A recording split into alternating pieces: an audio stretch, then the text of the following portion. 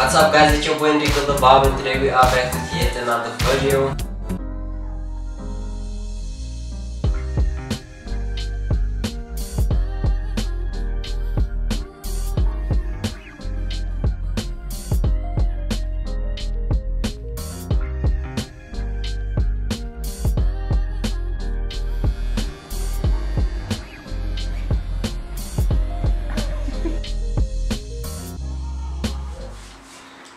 Guys, in today's video, I'm sure I'm sure you saw by the title.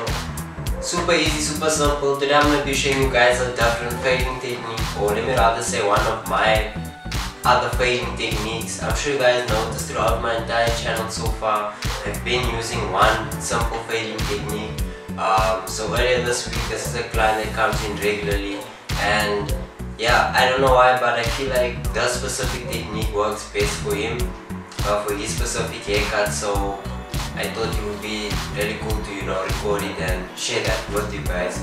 Also just to show you something different and also with this specific technique. You'll be saving so much of time. It cuts so many corners. You save so much of time using that specific technique. So guys I'm gonna stop rambling. I'm gonna stop uh, I don't want to keep you guys waiting any longer. Um, let me just let you guys know that if you are new to the channel please just stop whatever you're doing go ahead and smash that subscribe button. We are almost at 500 subs guys. And yes I said 500 subs. We are almost there. Please keep subscribing. Most definitely leave a like if you like the content. Most importantly leave a comment interact with me. Let me know how you feel about the content. If there's anything else you want me to focus on anything you want me to show you in specific definitely let me know. And guys don't laugh at me in the video. My hands are super ashy SA if you're in SA we've had one of the coldest winters ever. I don't know why but this winter we've had so many cold fronts so far. It's been super cold. So yeah don't laugh at me. It was a super cold day. The boy's hands is ashy. But nonetheless guys let's go ahead. Let's jump straight into today's tutorial. It's your boy Enrico the Barber. Let's go. Let's go ahead and jump straight into today's tutorial.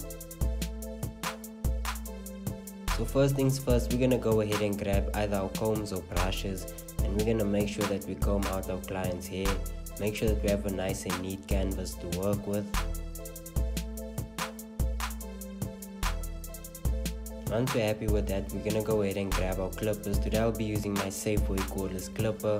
As you can see, I have no guard lever closed and we're gonna make sure that we set this guideline in in line with our client's eyebrow or the corner of their eyebrow. As you can see, my guideline is, is consistent at the back as well as the other side. We wanna make sure that we get this guideline nice and even to make sure that we get the nice and even fade.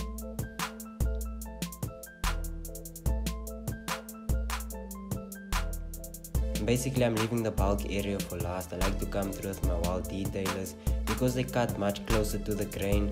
Um, it makes my fade pop so I like to use my Wahl detailers when debulking as you can see we're using right now. And especially in this area it's, it's really good to get it nice and clean and as close to the skin as you can. That way your fade pops way more.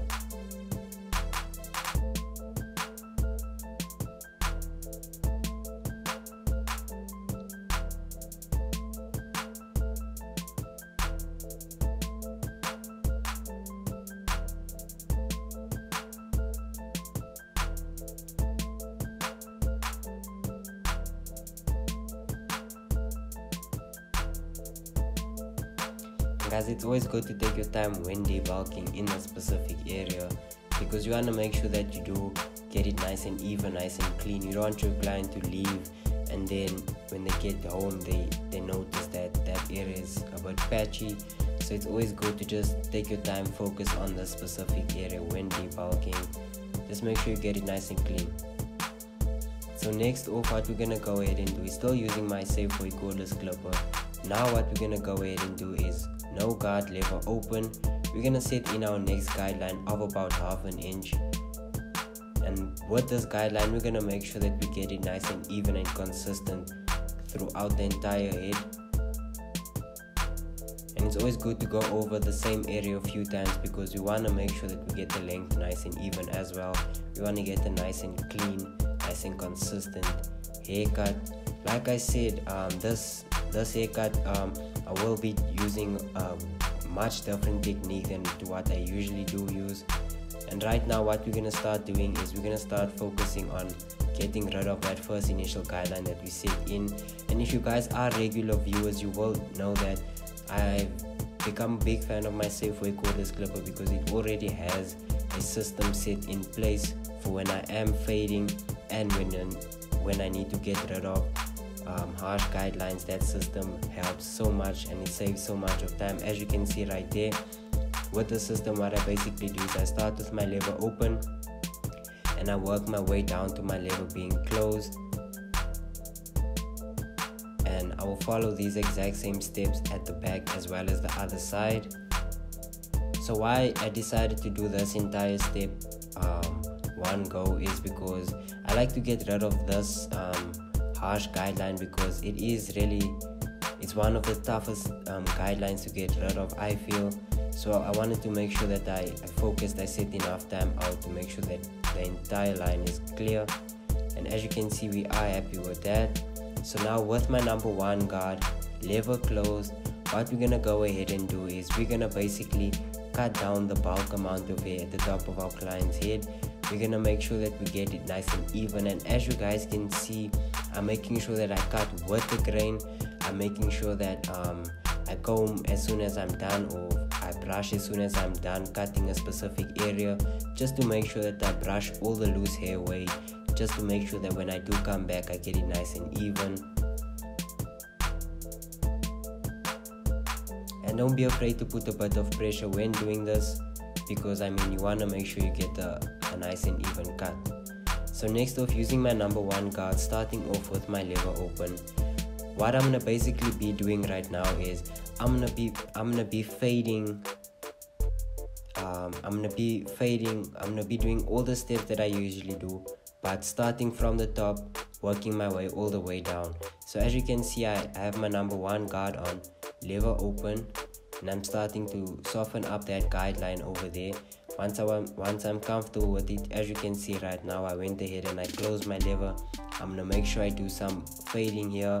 I'm lightening up the specific area making sure it gets nice and light. And once I'm happy with that as you guys can see no guard lever open. What I'm going ahead and doing is I'm basically using a flick motion because right here we're getting rid of that harsh guideline. And as you can see our fade is already looking good so now all we need to do is do some detailing work and we'll follow that exact same steps at the back as well as the other side.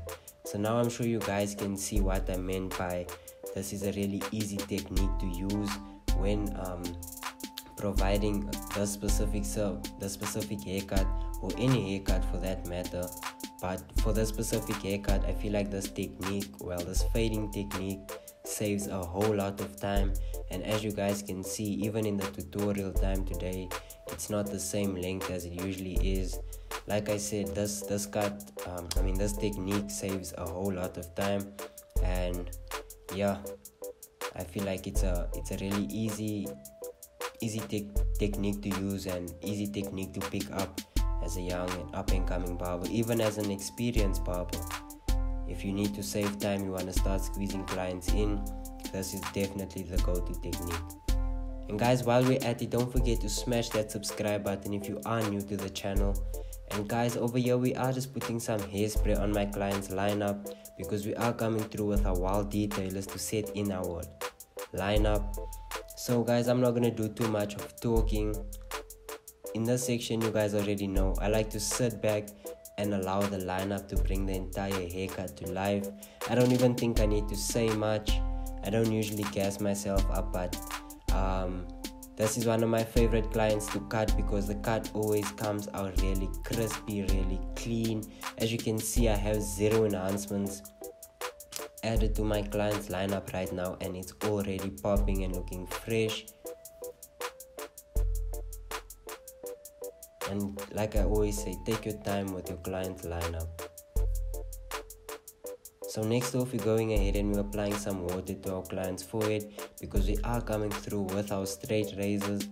I don't like to i personally don't like to give my client a dry shave but some people prefer it. I guess it's just a preference but me personally i prefer to apply some water beforehand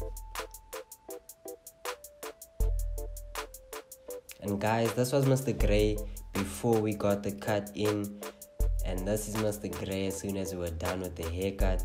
So guys, if you are new to the channel, definitely smash that subscribe button. Most importantly, smash the notification bell so that you are notified every time that we do drop a video. Guys, leave a like, comment, let me know how you feel about the content. It is your boy Enrico the Barber. Until the next video, peace.